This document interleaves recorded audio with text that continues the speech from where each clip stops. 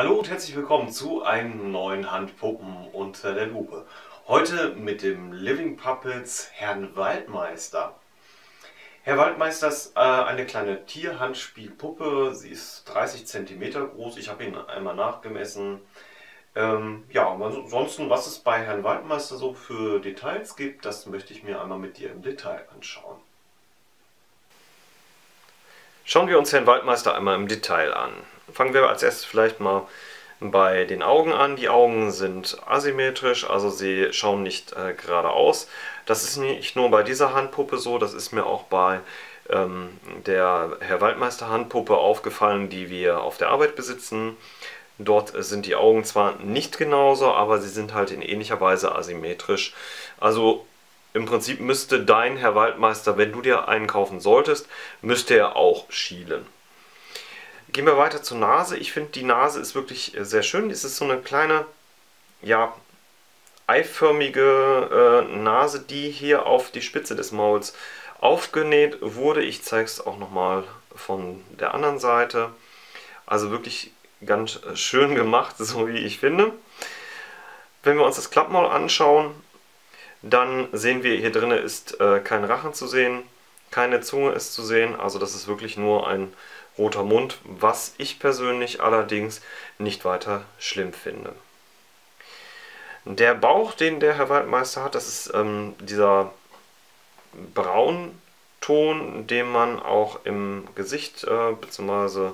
an den Händen und ähm, an den Füßen verwendet hat.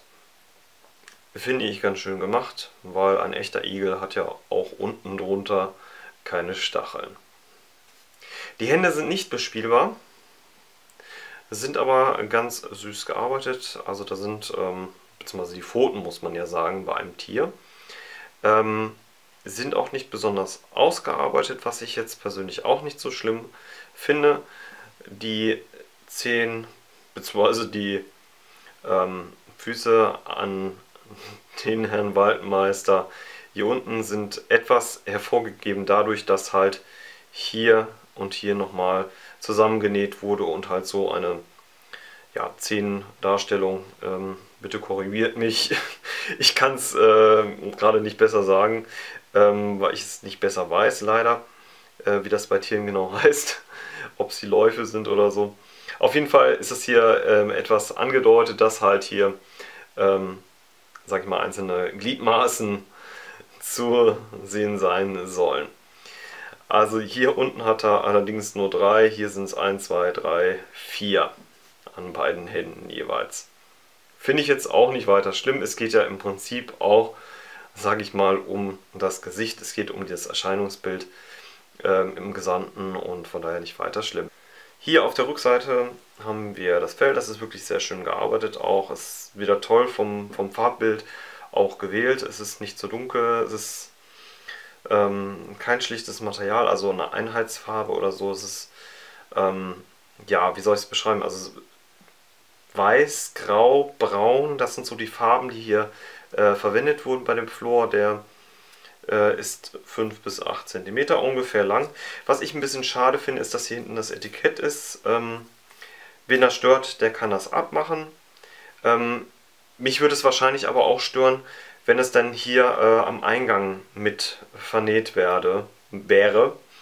Ähm, ja, der Eingang ist übrigens äh, auf der Unterseite und äh, die Hand ähm, ja, geht dann in den Tunnel hinein und dann kann man auch in das Klappmaul, was für meine Hände gerade noch äh, so eben passt. Also wer größere Hände hat, ähm, beziehungsweise richtig große Hände hat, für den ist diese Handpuppe wahrscheinlich nichts. Aber da sage ich auch immer wieder, einfach mal ausprobieren. Also wenn du wirklich sehr große Hände haben solltest, probier sie einfach mal aus, bestell sie dir, wenn es nicht passt, schick sie zurück.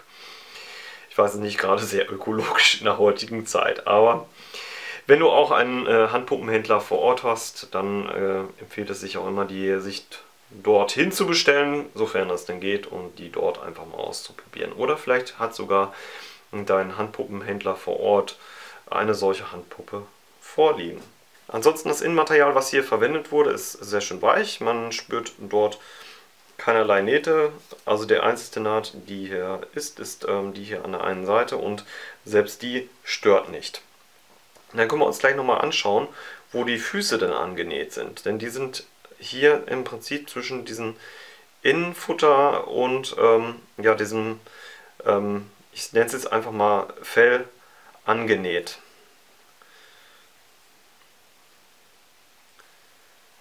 Innen drinne fühlt sich das äh, Klappmaul ganz gut an, also die Bespielbarkeit ist für mich noch in Ordnung, also ich komme mit meinen Händen ähm, gerade noch so rein.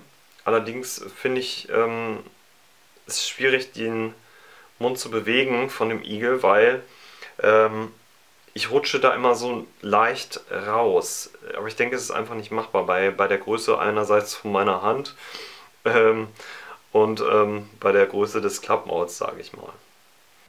Zum Abschluss ist zu sagen, neben der Körpergröße von 30 cm ist Herr Waldmeister momentan preislich für die gesenkte Mehrwertsteuer für 25,25 Euro direkt bei der Firma Living Puppets zu erstehen. Ja, ähm, ich finde ihn insgesamt finde ich ihn sehr gut äh, verarbeitet. Das ist eine süße Tierhandspielpuppe. Das einzige Manko, was mich ein bisschen stört, ist, äh, wie ich es auch schon gesagt habe, äh, dass ich ein bisschen Probleme habe mit dem Klappmaul. Vielleicht ist es ja bei dir anders. Ich würde die Handpuppe trotzdem nahelegen, weil sie ist wirklich süß gearbeitet. Ähm, von den Augen her ist es halt auch, äh, finde ich, wieder einmal süß gelungen.